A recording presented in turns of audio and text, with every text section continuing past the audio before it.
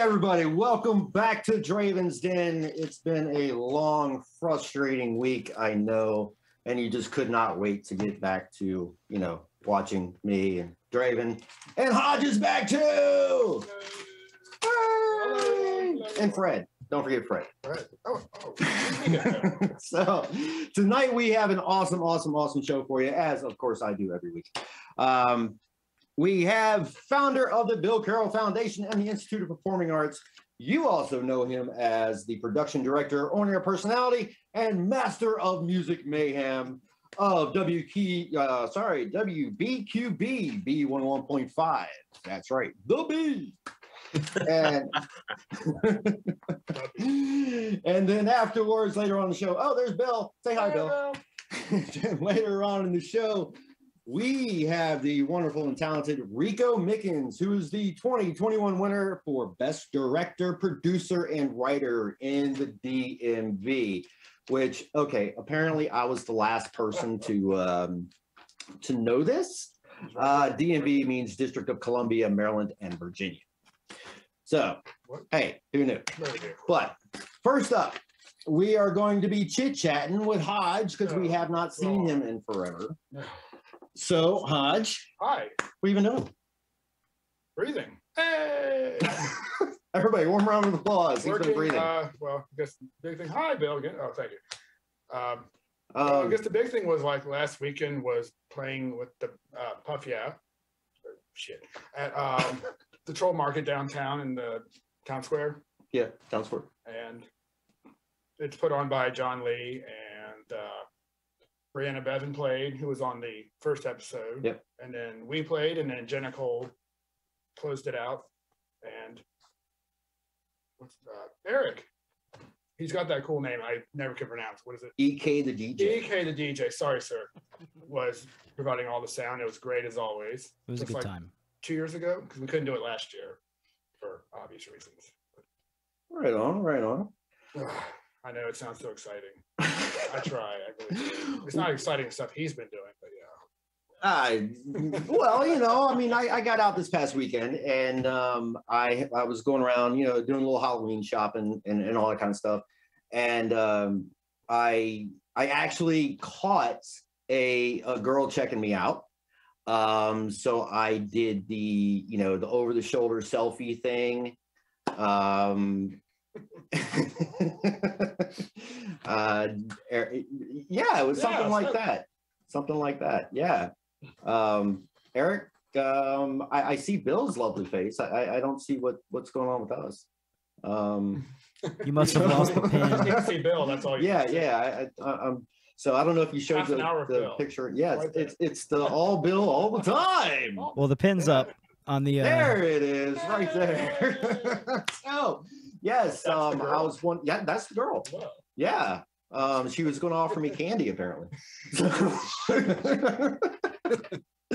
but uh, then after that, um, I actually had the opportunity to check off a bucket list item. Um, I went down to Luray to Cooter's place. Uh, if you guys remember the Dukes of Hazzard, Mm. Hazzard County. Yeah, and I met Tom Wopat, also known as Luke Duke. Um, we had a couple of General Lees there. That one is actually belongs to Cooter himself, Ben Jones. Um, yeah, um, very very awesome. Uh, ben wasn't there unfortunately, but Tom was, and I got a nice autograph, you know, picture of him and everything. Number of how many general Lees there are that have been made officially from the show. Oh, from the show, there has there was rumor that they had they had made like in the thousands because of all the jumps. because of all the jumps. Okay, Yeah, yeah. Uh, some of them actually, in a little tidbit that I found out, Mhm. was they were not all um, Dodge Challengers, They were not, Chargers. or whatever. Yeah, I think I just messed up, but anyway, um, yeah. Some of them were Fords, and then they Oh, took okay. sheet metal and made a shell, put it over top of it, Ah, and they were wrecking Fords, which I'm okay with. Um. You know, I'm a Jeep guy. So, all right. So anyway, on with the show. We have our first guest, it's Bill Carroll, as I mentioned. Roll that beautiful bean footage. Welcome to the Bill Carroll Foundation.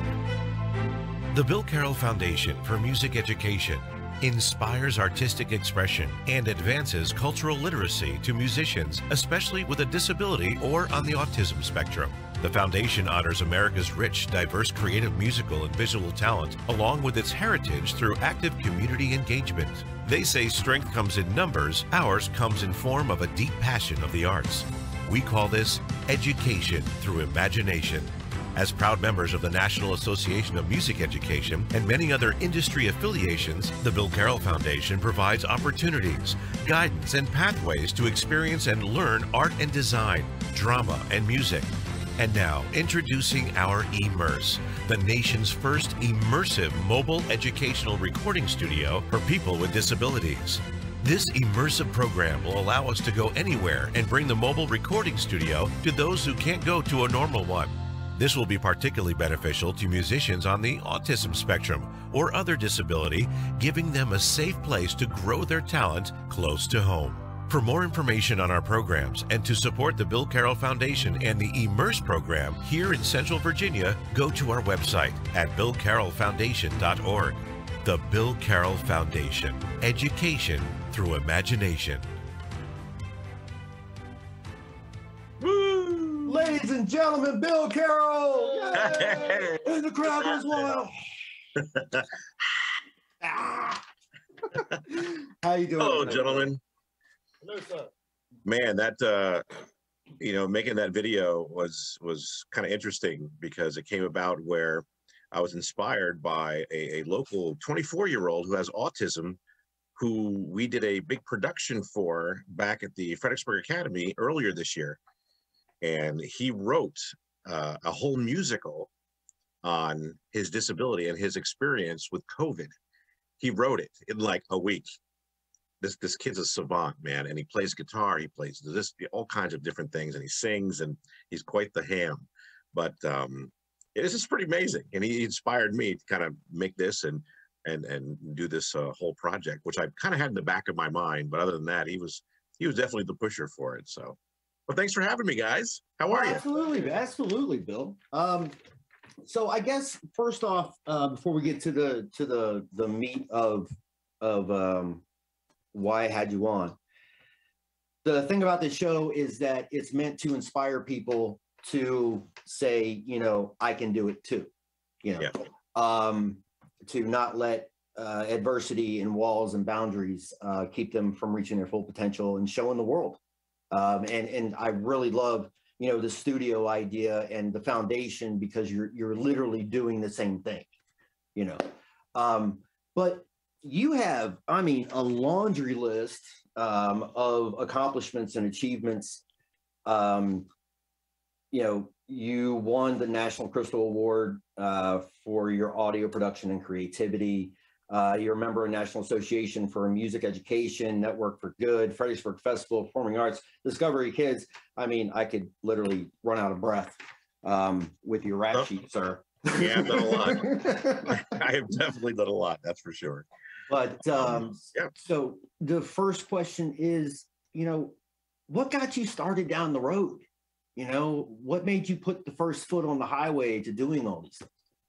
um, just a love of music as a child and getting into my first radio gig was actually at the age of 16 uh, while I was in high school. Uh, and of course, uh, being you know a mobile entertainer, being in theater uh, my entire life, and and being up in New York, and I got a chance to rub rub heels with a lot of the most amazing people, and and living only 40 minutes from Woodstock, New York, which was like the hub back in the 80s, the hub of all of the best on the East Coast, of the best recording studios to all the artists. I mean, from the Who, I mean, anyone, anybody you say. I got to sit next to Pat Benatar one time in a, in a club up there. I didn't even know it was her. She was like four foot eleven. I mean, she's a tiny little thing, you know. And just to to meet those musicians and being a musician, of course, I took all kinds of things in high school and, and middle school and elementary school.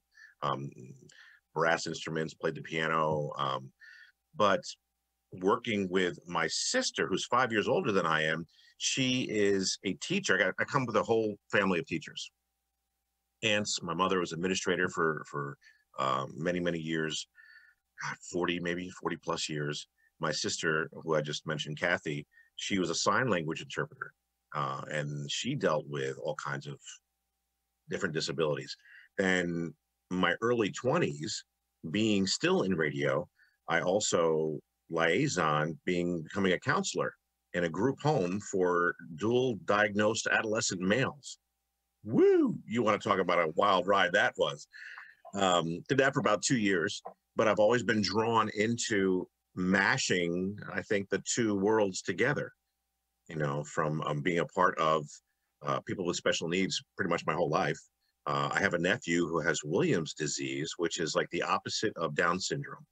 It's the taken away instead of the extra chromosome without getting in technical science. But uh, yeah, and his love of music was just amazing to me. And then things that I've dealt with my whole life, and I found out that I have certain disabilities as well, which I don't really talk about. But um, the first one would be with my hearing, pretty much my most of my life. So I've learned to deal with music visually. And as a little boy growing up, I could always see sound in colors. People are like, you can't see sound, you hear sound. But I've always able to see it if I close my eyes and and you know, if I think of different instruments or different frequencies, I actually see different colors. So I utilize that actually in my own teachings and, and learning. It's just a different way to learn musical instruments without even reading a note. And then I had to learn how to read notes. So it, it was pretty wild.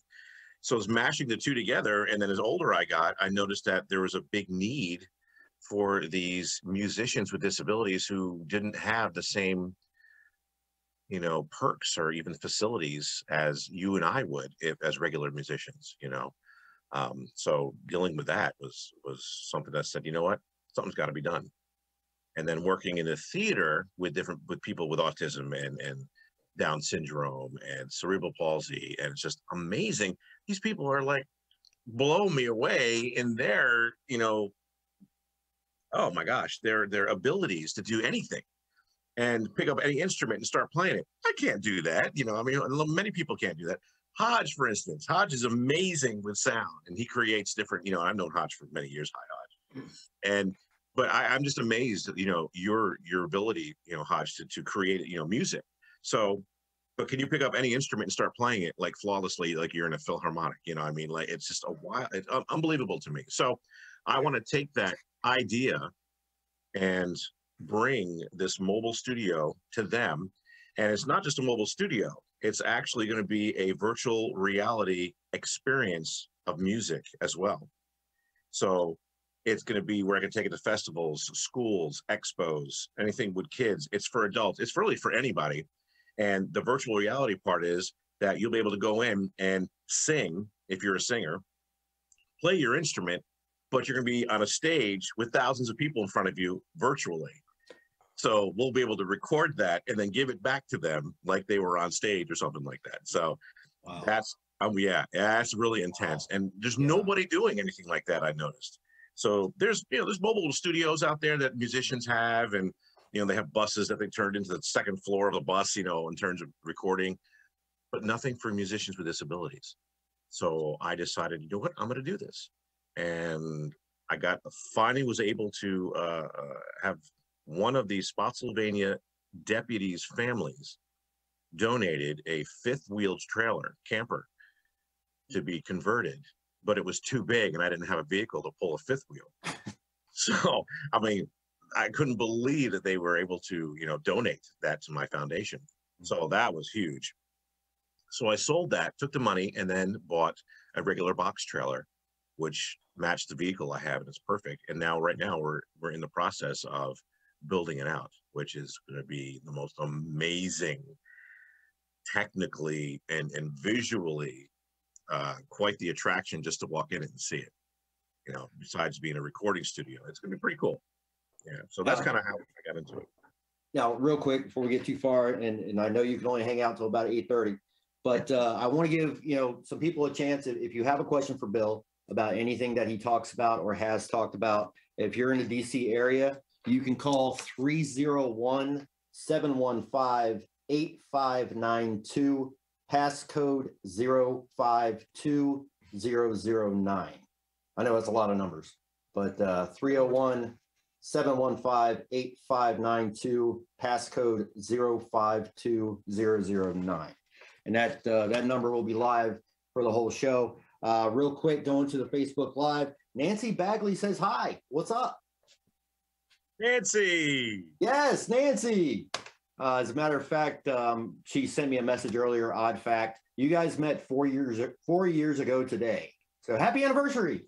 Wow, it's today, huh? Yeah. Hey, cool. Uh, she's a great lady. For Hodge, uh, Linda Wolfrey says hi. Hi, Hodge, Chase. looking good. Coworker. Um, Hey, Let's see, and just let me know who else is in the room. Okay, so um, next question. So, with all the things that you do, planning is is extremely huge, obviously. Um, what is your your your five year, you know, for this studio? I mean, where do you want this to go ultimately? Well, actually, that was asked of me about three years ago. Uh, in, well, yeah, uh, 2018 and 19 is when I actually started the the thought of the project, and it just has evolved so much. So my five year plan is actually I'm in my fourth year. So I kind of I kind of look at it as not even you know five years from now because I'm I'm in the the middle of the goal of my first five years that somebody asked me, which is funny. Right. And yeah, I mean we're actually going to make it happen. So the first thing I'm probably going to do with it is take it to some of the local schools. You know, start grassroots right here in Central Virginia, Fredericksburg region, um, and just promote it, bring it, and and show it off.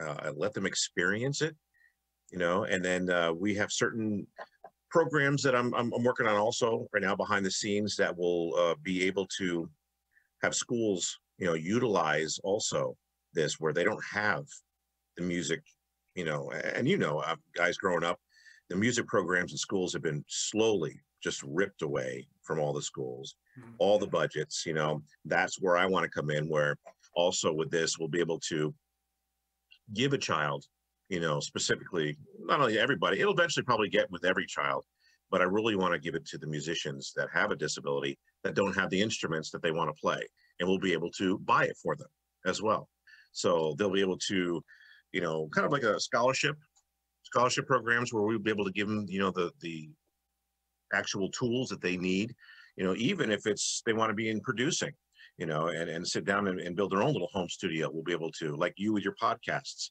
Mhm. you know we'll teach and show them what they can use uh, to create and, and record themselves at home you know so we'll take them through a whole process of that uh, and show them the basics we do have you know other uh, programs that'll take them even further if they want to like mastering programs but that's that's just down the road but to just to get them involved with you know having them learn what we do i just love when they sit and teach. And you know we even have a online radio station that's going to be just for them.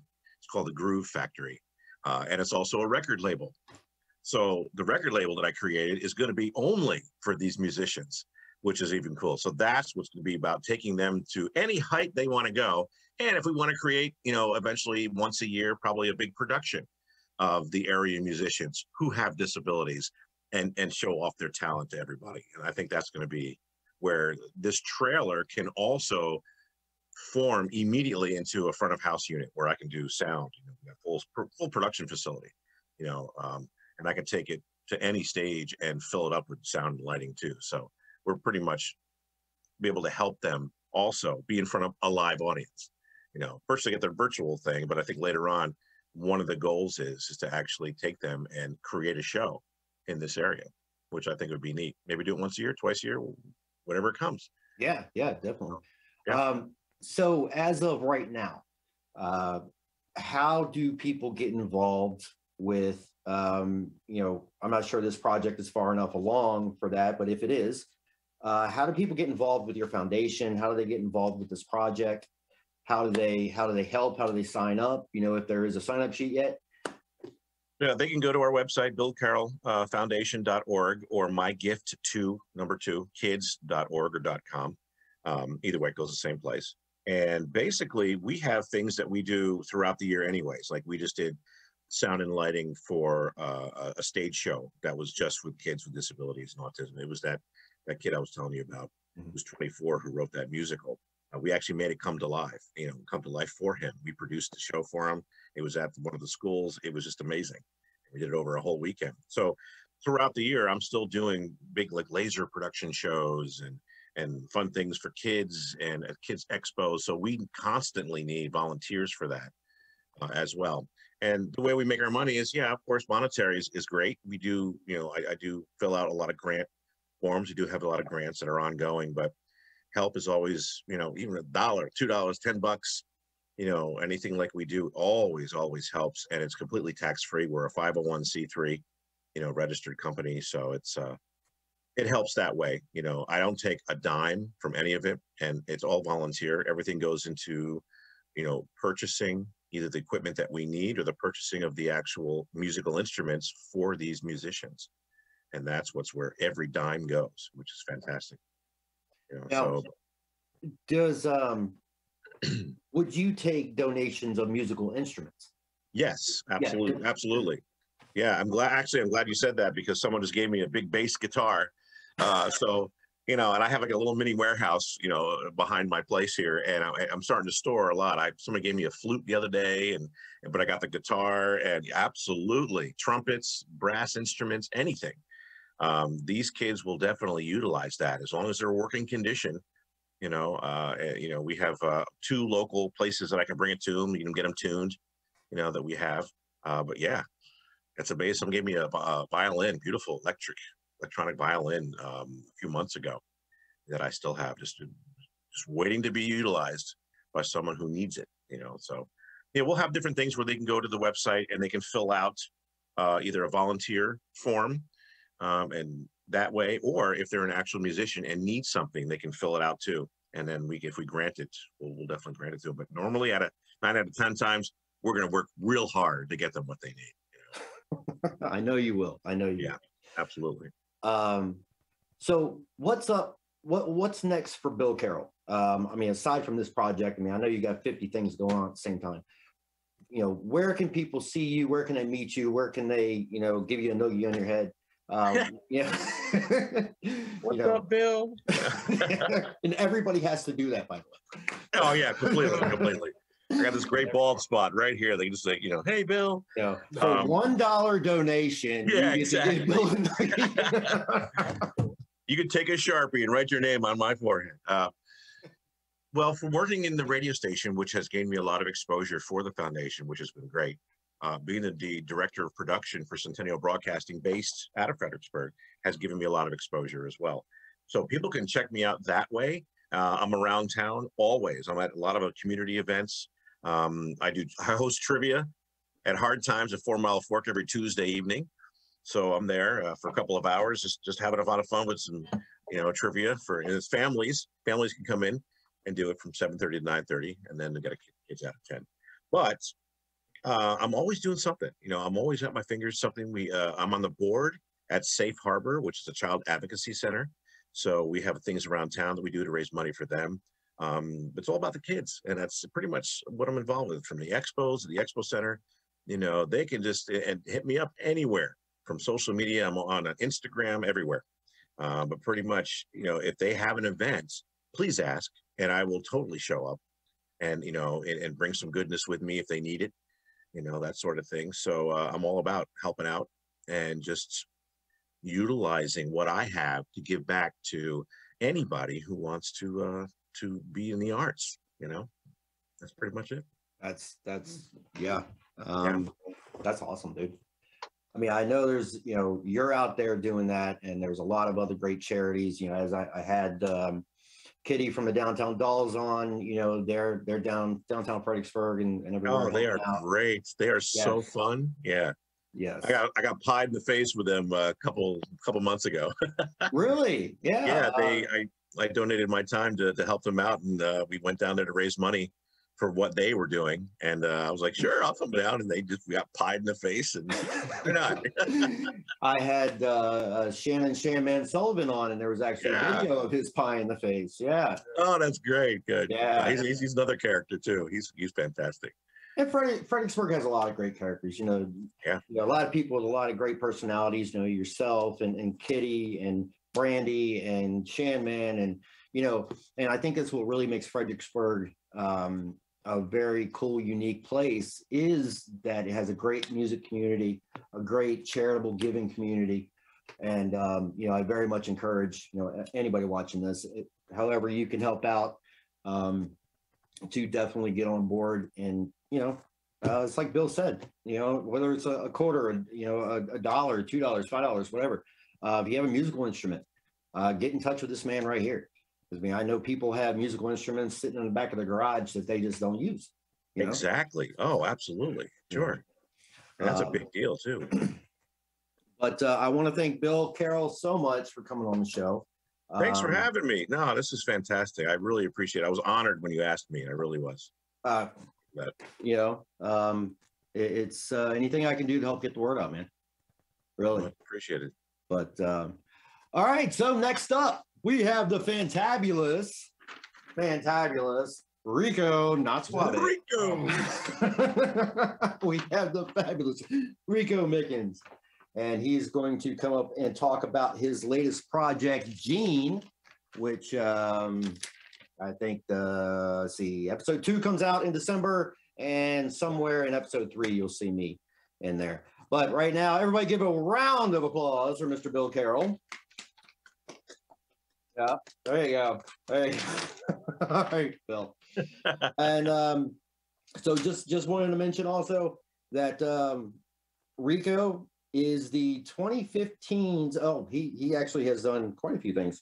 2015's Street Arsenal 2. He did 2017's Hot Boys, 2018's Runners 2, and most recently, as I said, the Gene Project. But this is the preview for the second episode of the Gene Project. Roll that beautiful bean footage. I think there's something you should know. The people Dr. Frazier and Dr. Lozado worked for were very dangerous people. Mr. President, are you sure? We may not be prepared for the outcome. There is classified information that only two people know about. I think that's the reason people are getting killed. Detectives, the FBI are here to see you. I heard your program was ready for testing. No, no! Just bring me the information that you have. I'll bring in another shadow. Well, Senator, I don't answer to you. That's why there's a chain of command.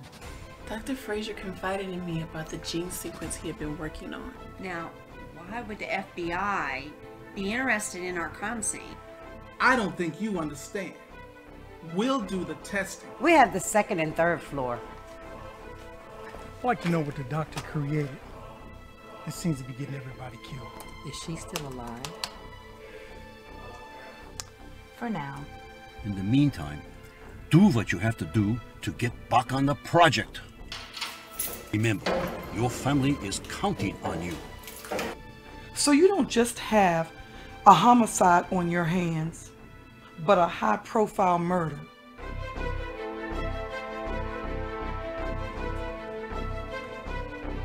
Anna, don't! Anna! Sit down, let's talk You about this. cannot. They will kill my family. Anna, You don't need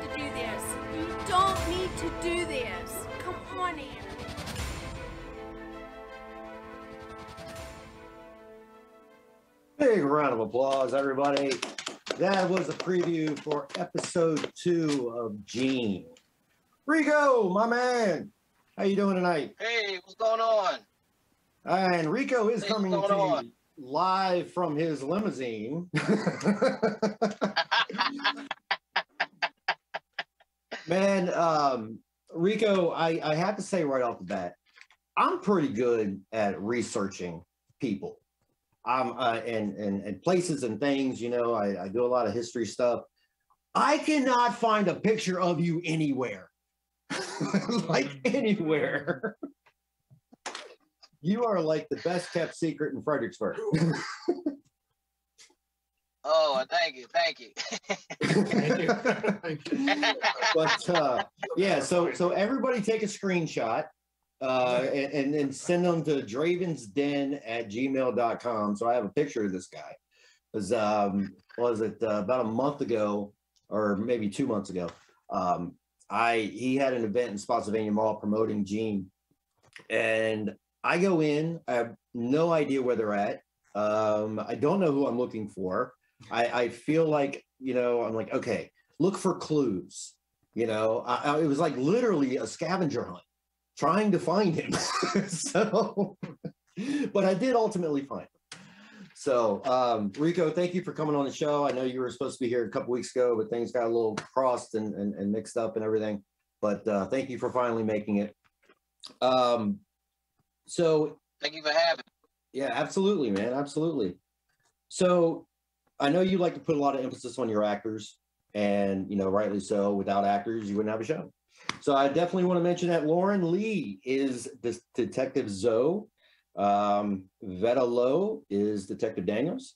There's also Donna Sibley, Sharon Tolliver. That name is very familiar. Um, I'm, I'm trying to place that name. I think she's worked with some other people that I know. And Rose Venny. Am I saying that correctly? Uh, Rose, yeah, Venny. Venny. Okay. Um, yeah. And also, my personal friend W. Keith Scott. Uh, he was in House of Cards. If you guys remember that that uh, TV series, and he was also in 2016's Oscar-nominated Loving, which um, which everybody everybody knows that that film. Um, and Chris Wargo uh, is also in this. Um, he is the winner for Best Supporting Actor in the film Which Line Are You In? So this has a lot, a lot of great talent. Um, I was very uh, blessed when when uh, W.P. Scott came to me and asked me if I would do just a small little part in it. So I'm very much looking forward to that. Uh, Rico. Yes. How did all this begin for you, man? How did you, you know, um, your first project? You know, uh, just go back to 2015 Street Arsenal 2. Like, you know, what made you say, I'm going to get up, I'm going to get out of bed, and I'm going to, you know, do some writing, do some directing, do some producing? Um, my first film actually was 2013. It was a couple films that um that you don't you don't have listed, but my first one was actually in 2013. Um, I, I'm a bike rider, and it all started from that.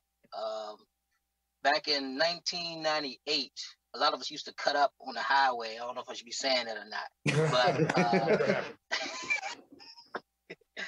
but uh, we we couldn't catch that on film. So I said, man, I need to catch that on film. So I would catch the guys cutting up on 95, 295, uh, 395, and I put a little movie on the front of it.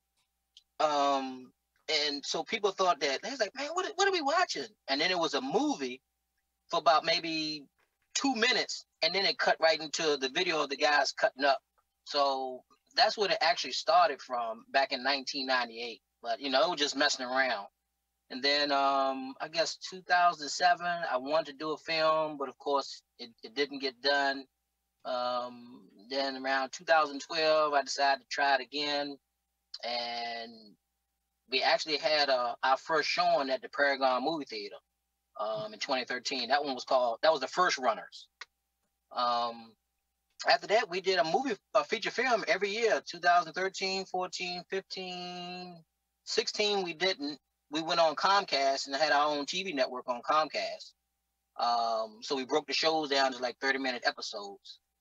Um, then after that, we came back and I think like 17 and 2018 at the movies um, at Paragon until the pandemic hit and everything changed. Right. Now, were there any significant obst? I mean, as as a director, you know, there's there's plenty of obstacles and, and hurdles to jump, and you know, I directed a couple of shows myself, and and uh, was there anything? What barriers have you found that you've had to go through that you know producing and directing is hard enough but was there anything that you really had to go through that you had to break through dig under go around to make these projects happen? Um no there were no barriers. Um i did research before i started. I used to look at kickstarter and indigo to try to see how people were getting funded for their films. And, you know, I, I, I saw from Fredericksburg all the way up through Richmond and DC that films weren't getting funded through Kickstarter or Indigo. So I said, well, um, if I'm gonna do this, I'm gonna have to count on funding myself because I want to finish product. You know, I don't want to start something and then you know it, it doesn't finish. So um, no, I really haven't had really no stumbling blocks to be honest with you. Um, locations I got once once people saw that I was filming, uh, it was it was kind of easy because I had the insurance and everything that I needed. Um, I, to be honest, I, I don't think I really had any stumbling blocks to really stop me. Well, you're a very lucky man. but so, I mean, putting a putting a film together is is a multi multi step process, and it takes a lot of planning, and you know, stretching yourself really thin um, to get it all done, and then bring all the puzzle pieces together to create that you know that picture. Um, real quickly, you know, can you tell the viewers, you know, if there's any uh, videographer, you know, uh, future videographers out there, any future filmmakers out there, um, kind of what is a thought process that you would you would recommend to keep everything organized? You know, like step one, do your research and so forth and so on. Um, you told me to do it real quick. Um, that's a lot. well, I, I, mean, you know, we yeah, we still got a little time. Go ahead. Yeah. Uh, I, I think for one thing, you, you have to do your research um, and, and, and, and look and see what something might cost, what it takes. Um, like for me, I'm self-taught. Uh, I never went to school for videography, for music, or, or anything like that. Um, so it's basically you had to, for me, I had to teach myself. I had to go look at programs, see what program I wanted, what, what was the requirements for the computer, you know, to handle certain softwares. Um, once once you get all that done, and then you say, okay, do I want to spend this money? Do I really want to put this time? Then you make your move and and, and go from there. For me, um, it became a passion um, that I found out you know, because I was like, I was spending my own money, I was teaching my own self. I wanted to do it. I wanted to, I want, I wanted to see if it could be done. Um, I only used one camera when I did my first first feature film. I used one camera for the whole movie. Um, I don't have no crew. when I when I tell people, uh, I, I remember this this young lady we went to film, and I was in the film, and uh, and I told her that I said, you know, it's gonna be me and you. I don't have no crew or nothing like that. We came out to the location and she thought I was playing. She said, okay, well, where's everybody at? And I said, everybody who? She said, where's the crew? I said, this is it. The camera and tripod, me and you. This is our scene. Because I had that that vision, and that's that's another thing you have to have. You have to have a vision of, of what you want. But it doesn't come right away like you want. So I tell anybody, even in acting, um, a lot of people that I work with have never acted before. Um, Val Lowe, Lauren Lee, none of them went to acting school. Sharon Tolliver, um, you know, a lot of people right here in the neighborhood, you know. But it's just you keep doing it, you keep doing it, you keep doing it. You get better, better, better, better each time. So you know, like I said, for me, it was it's more like a passion. You know, you just got to have a drive. Right on. Is that now, enough? well, well, here might be, this this might be the most difficult uh, question.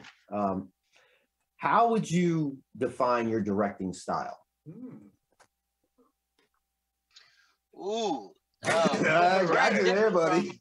very, very different from a lot of people who who have done professional acting on TV shows and stuff like that. Like Keith Scott, uh, had a guy named Andre Pearson. Um, he's very well known too up in the Maryland area. Um, a lot of these people that have worked on big productions, when they came here, you don't get no script to see. Uh, he, he said that usually they were trained to read the whole script, so they kind of get an understanding of the film. But he said with me, you only get the script for the scene that you're going to shoot. You might get it maybe two weeks in advance. That's about it. Um, so you only get it, you know, each time you go to film, you get a different scene. Um, he said he has never done anything like that before. He said, but kind of find out it works. You know, so he said that's like your own style, almost like uh, what's his name? I can't think of the guy's name all of a sudden. Uh, the guy with the walking sidewalk. The guy with the walking sidewalk. Yeah, the people be, be moving, but their arms nothing on me moving. Who? Oh, you're talking about directors. Yeah. That's Jamiroquai. Oh. Hitchcock? Uh, Hitchcock? No, no, no. It's just the has way it. he. Yeah, I can't think of his name right now. The, the producer. Stanley Cooper. But uh, yeah, that's the um, that's the unique thing I think that that somebody, a couple people have told me.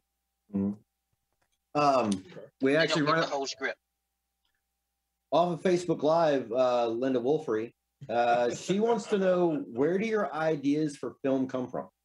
Oh, that's a good one. Um, a lot of my ideas come from bits and pieces of my life. Uh, like for the runners, um, I dealt with communications before.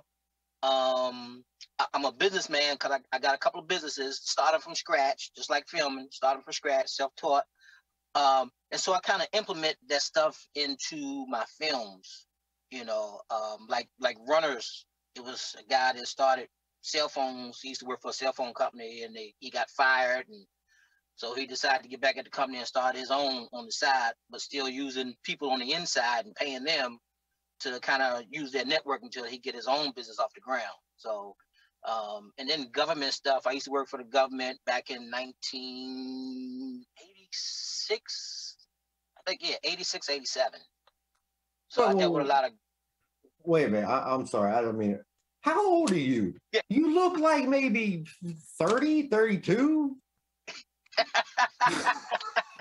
hey, hey, look, this is how Gene came, actually came about. Okay, yeah, because that's my next question. I, I want you to to to uh, tell us about that. But but like, how old are you? Um, 53 or 54. 53 or 54. the man so Yeah, busy, one you of- one don't know how old he is. okay, but great, great segue. So, um, so what you're saying is, is that you're a government science project, and um, you're you're actually uh, you're reversing an age, like that Brad Pitt movie. Benjamin Button. Uh, Benjamin it's not reversing. It's, it's, it's actually a- aging slow. okay. All right, but yeah, yeah, yeah, yeah. That's a great segue. So tell us about Gene. Tell us where it was born, um, and and you know, and catch us up uh, to where we are now. All right. Now, Gene, it actually started from the conversation we were talking about, about age. Um, I know when I was in um, Manassas and I was hanging around a lot of young people, um, and they actually thought that I was their age. It was like 25, 20, 22. And when I told them I was like 35, they was like, what? Ain't no way. And so I've been hearing that off and on, and just like what you're saying. And I said, you know what? I said, I need to write something about that. And so that's kind of how Gene actually got started. And then I started adding in the government stuff and and uh, went on from there. Started adding the, the characters, the, the detectives. So, but yeah, that's the that's the actually the origin of it. Um, when you get a little deeper, I, I don't I, I can't give you I can't give you the story away. Um, but there are little hints that you have to look for in each episode. Um, the one is the doctor. If you saw when he was writing, that was that was one hint. When the lady found the case in episode one, what you saw in the case, that's another hint for later on. Um, episode two, that was episode one. Episode two, um, and that one, that one goes a little bit more deeper. Uh, not just with the genes, but there's also some other stuff going on with the government um, that's affiliated with Gene. Um, it- I, I try to do my characters where there's no one main actor. I try to make everybody a main actor. um, in, in, in each part of the film. So when you look at it, you're kind of drawn to that person. You get to the next scene, you're drawn to that person. So I can't wait to do your scene, really. Oh, I can't wait. oh, that, that's gonna, yeah, that's gonna lead to the last question I ask you, which is the most important for me. But, but please continue. but um, yeah, but um, but yeah, that's uh, like I said, I don't want to go in too deep. Um, we're actually we're actually filming episode three now. Uh, I'm gonna put this out there. I'm always looking for actors or people who want to act. Um, right here in, in, in Fredericksburg, Virginia, Spotsylvania, Richmond, you know, Stafford, you know, Woodbridge, that, that that's fine. Um, but I, I, always have other parts that I like to add people in, you know, to kind of enhance the film. So I, I know it's kind of not what, what, what you want to hear, but um, I just want to go ahead and get that out there. Well, yeah, don't be taking my roles because yeah. you know I, I can put a mask on and be another guy. You know, makeup is wonders. I know a great makeup artist, by the way, Donna. Um, but um, so where um, you know where can people uh, find find you? I mean, do you leave like you know little clues because because obviously you're a big Easter egg guy. You love leaving Easter eggs in each episode, obviously. You know, and shoot, I didn't know what an Easter egg was until probably a year ago. I'm like, I'm keep looking for eggs. You know, I'm like, what what is Marvel talking about Easter eggs? Why are they putting eggs in Oh them? yes. you know, but um, you know, how did they how can they support this this project? Uh, that's a very good question. Um, the best way you can support this film is please subscribe. Uh, right now, we're in a critical stage uh, of the film. The show might be canceled uh, if we don't get the certain amount of subscribers. Um, me as a business person, um, I always have deadlines on everything that I do, so I don't waste time on something when I can just go ahead and start something else um, that might interest people. So um, yeah, subscription is an important thing for us to continue to show, just like a big production. You know, if if you don't have an audience for it, then why are you spending money in producing the show if nobody's really watching? So we, we have watchers, we got a lot of views, but we just we just need people to subscribe uh, for YouTube, and that's where our shows are going to be at on YouTube. Do you have any? Oh, sorry. Go ahead. Oh, Oh, I just I can say the, the best way to find it is off of my Instagram because there's a whole lot of Gene projects if you try to do a search on it. So the best way to find it is to go to RMP TV Film on my Instagram, and it- the link is in my bio, and that'll take you directly to the um, YouTube channel, and you can subscribe. Right on. Yeah, please subscribe because I don't want this canceled before I get a chance to you know to, to, to film. well, well, well, we will, we will we will do episode three, so you will be in there. But before we go past episode three, we, we gotta have those numbers before December the uh nineteenth. Okay. Um. So, I, I guess uh, I, I guess what my big question is, when can I shave this thing off? I've been because I've been growing this thing for four or five June. months now. Huh? That's for June. That's for Okay. yes. I'm growing this for that part. Oh, you growing it for that part? I thought you were gonna be shaved. yeah. No, no, I've never had this before. Oh, yeah, I thought you was gonna I thought you was gonna be shaved for for the for the part. No, you said you wanted me to look older and more serious. And, and when I said, you know, uh, do you want a beard or, or, or whatever? You said, no, yeah, do the beard because it makes you look more intense. So I've been growing the beard for the part. Wait, I don't feel intense with my beard. You feel the intensity? I, I tell you what, shave it off. Shave it off then. There you go. Let's do it now you're telling me to shave it off? Oh my Right God. now, live on air. Well, I, I thought we'd have filmed we'd have filmed by now. oh man. Go around work spots. Okay. Um, so uh, let's see. You mean that isn't a COVID beard? Oh, thank you, Joseph.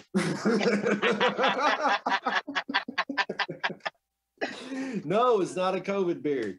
Um, I, I don't want to tell too many people what uh, what my role is. So, uh, if you do, you want to tell them what my role is, or or is that a secret?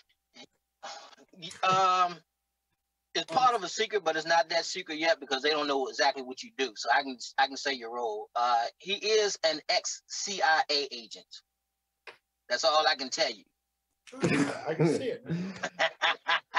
Um, do I get the the James Bond music in in the scene? You know, when I'm walking on, you know, something like some kind. Oh, kind. you get music. I already got I already got the soundtrack. Soundtrack's Awesome. already done. You know, speaking of soundtrack, um, is that something with your past films that that you put together? Uh, like you know how how do your your soundtracks? Do you have local music that you know local musicians put music together for you, or No, um, I do everything. I do everything from the editing to the sound, um, locations. I was going to ask you about being. I do everything. That's that's the only what that's the only way I can get a film production done because I, I can't really can't afford to pay anybody. Uh, we I used to pay from 2013 up until 2018 when I was doing the feature film. Um, Gene is now all volunteer. okay? So, but yeah, that's that's the only way that I can get production done is to do it all myself. That's what I I'm kind of self-taught. So Yeah, when you yeah, no. those those I- you ask me about those barriers, that's Yeah. what I'm saying. I really don't have any barriers. Right. I don't have to wait on anybody. Intense beards. Yeah. Um, growing intense beards. That's that's a barrier. Well, I'm, I'm allowing you to cut it off, so now you have no barriers. kidding me. Uh, let's see. Kelly Copley, she has a question for you. Um, where did Rico get his initial seed money from for his first feature film? Where did I get my what money? The the initial seed money for your first feature film. Um, I paid for it. There you go, Kelly. He paid that. That's what in, independent filmmakers do. You know, we we, we pay for it ourselves. Yeah, pretty pretty Yeah. much. Yeah. Yeah. To have a finished product, you know, like I said, it's, Yeah. a, it's a passion. You you will spend your own money. Oh, absolutely, absolutely. Um, You do get some help, you know, if you can, um, you know, from other businesses or something like that, or family or friends, or you know, like we've done sold T-shirts before, we sold DVDs. Um, but you know, even the tickets at the movie theater, it's not enough to cover the full production. You know, all the actors got paid when we when we did it that way. mhm. But um, but yeah, we had the uh, red carpet, the limo service. They, they be asking me, man, when we gonna do the movie? I said, man, I, I don't do that anymore. right, right, right. Um, so do you have any more promotional events coming up or it's like the one you did in the mall? Um, I, I, I, I don't really have any promotional events coming up right now. We're gonna, uh, me the actors, um, are getting together, um, and trying to do like um a campaign to to save the show right now. So we're gonna be working on that and focusing on that, um, to to kind of get that built up right now. I, I do have two other projects that I was casting for at the mall. Um, but I, I really won't focus on those too much. Um, I, I got a few people that's coming on board, but that's not gonna be my priority. But that's gonna be like my second project, um, whether we continue with Gene or not. Um, I still have two other projects that, that I'm looking to get off the ground. So I'm always looking. I'm always casting. Right on. So uh how so do they get a hold of you through your your Instagram and your YouTube channel if they sh- if they have interest on on being the projects? Uh, if you want to be on the project, um, you can reach me at RM. I can give my phone number for if, if you got some real people out there. Yeah, they're all cut, they're all cardboard cutouts, man. You know, still COVID season. yeah, they, they can reach me at uh, RMP Studios with an S at live.com. Okay. Cool. And you want them to send their, you know, acting resume or or just whatever they have? No, no, I Nope. don't even do that. That's another thing that actors said they don't, they never heard of before. Because I don't ask for resumes or anything. All I need is headshots and full body shots, and then Okay. we go from there. Right on, right no on. experience needed. Okay, yeah, but you have to be able to memorize your lines. That that's that. Yeah. Yeah, you gotta, yeah, you gotta memorize your lines. But a lot of people that came on, you know, um, like I say, I say about seventy-five percent of the people that I've worked with have never acted before, never went to acting school or classes or anything, you know. But in film, you can, you a lot of people say they couldn't even tell. right on, right on. Um, yeah, I mean, going back to, to Sharon Tolliver, she had acting experience, right? Uh, no, she she came on with me on a PI on a project called PI Smooth. She did a, a part with just me and her, um, real real short part. And then after that, then she I brought on another project with Runners Two, and then I brought on Gene. But she never had any acting experience. Okay, I'm still trying to figure out where I know that name from. it's driving me nuts. All right, well, everybody, um, give a big round of applause to Rico Mickens, not Suave. Um, thank you for coming on the show, brother. I really appreciate you. I don't want to have to keep you locked in your limo any longer. hey, I'm, I'm I'm fine with it. I, I'm I'm glad to be on the show. Right on, man. It's it's uh, you know, glad to have you. Um, sorry you got locked out of your office. I know. I've seen people coming out, but I couldn't go in there because like, oh man, I'm doing the show. I can't move. Oh man, it's too late now. right, right on, right on. Well, uh, ladies and gentlemen, thank you for tuning in tonight. Thank you to Bill Carroll. Round of applause, everybody. Thank you to Rico Mickens. Um, unfortunately, um, Jason Walbert could not be in tonight as we originally planned. He is a special effects prop maker uh, out of Maryland. Uh, we're going to reschedule his interview. Um, so you will get to meet him. He does some amazing stuff, some amazing cosplay. Um, and I know at least Joseph uh, had some questions about lighting eyes up in a dragon or something like that. So um, you will finally get that answer, Joseph. But uh, thank you everybody online that tuned in. Uh, thank you, Hodge. Anything, anything you want to? Thanks, Hodge. Thanks, Hodge. Thank you, sir. Thank you, sir. Thank. Oh, and just just uh, FYI, if uh, you ever need a guy to do soundtracks, he, Oh, yeah. he does soundtracks for uh, for Done before. yes, he does soundtracks for films. Just in case, you know, if, if you ever need a guy, For there's a, a guy. for a portfolio, not even money. Yeah, just for portfolio. so, um, but yeah. So, all right. Uh, you got anything, Hodge? Hmm. No. I really don't. No, it's been a great episode. Sorry. You know, Hodge, you, talk- you- you just you talk too much, man. I You did. know, I'm, I'm gonna. I'll try to talk less next time. Oh, that should should be hard. No, I'll, I'll recite like what's that Billy Joel and the REM songs. Just do those.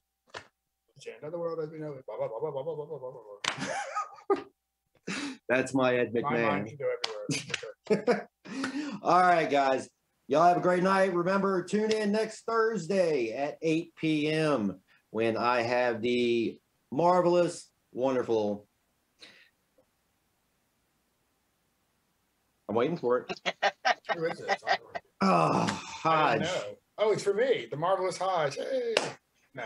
Upcoming Nashville star Shelby Madison Oh, will be on the She's very show. good. Very good. Yes. Yes, Shelby Madison will be on the show. Um, we're going to see if we can't get maybe somebody that Hodge knows on the show, another musician. That's Who was that? For an upcoming show, Who was that? uh, Christopher Verdek of Torino Death Ride. Okay. Their their vocalist actually is a grand bartender down at Spirits, Richard Simpson. Everybody knows him. Okay. Everybody knows Richard. I don't know. Richard. You don't know Richard? I don't go to the bars. He's been there forever. Oh. I might know. Well, okay, whatever. All right. All right, guys. Thank you so much. And also thank you to FXBG Public Radio, Yes. EK the TJ. All right, Eric, take us home.